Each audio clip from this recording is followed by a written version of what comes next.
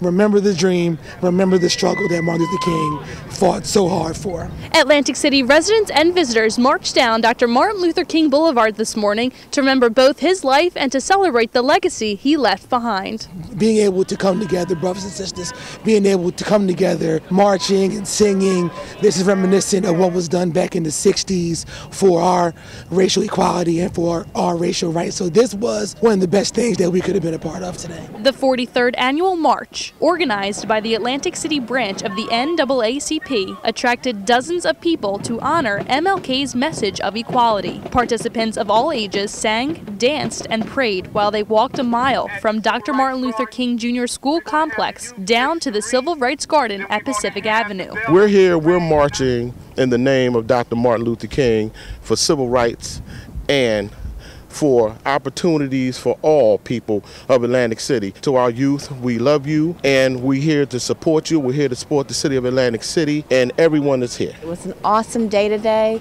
beautiful day um, in the spirit of Dr. King with peace, love, and unity. The parade was followed by a bell ringing and wreath laying ceremony with programs at the AME Church for visitors to not only celebrate equality among each other, but throughout Atlantic City. I truly believe that it's one more step towards the love and the unity that we need here in this city. This is just the start off of 2016 in a beautiful way. 53 years after his famous speech, Dr. Martin Luther King Jr.'s message of equality among all is still as strong as ever. I'm Nina Barati for SNJ Today.